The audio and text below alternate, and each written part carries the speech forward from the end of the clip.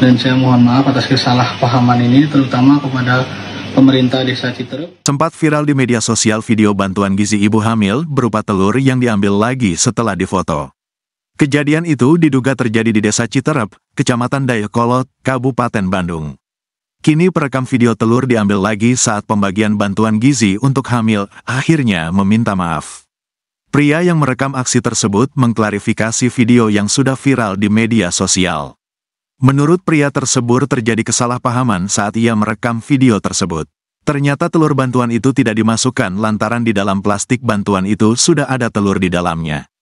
Ternyata bantuan di dalam plastik itu sudah satu paket berikut dengan telur, dan semuanya sudah lengkap, jadi telurnya sudah diberikan di awal, kata pria tersebut.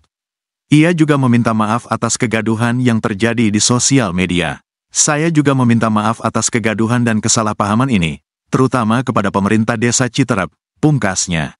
Sebelumnya dalam video tersebut nampak ibu-ibu yang diduga panitia kegiatan tersebut membagikan bantuan gizi kepada ibu hamil.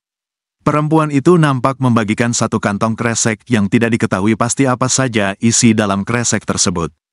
Hanya saja saat sesi foto, wanita itu meminta ibu hamil tersebut memegang telur dari pihak panitia.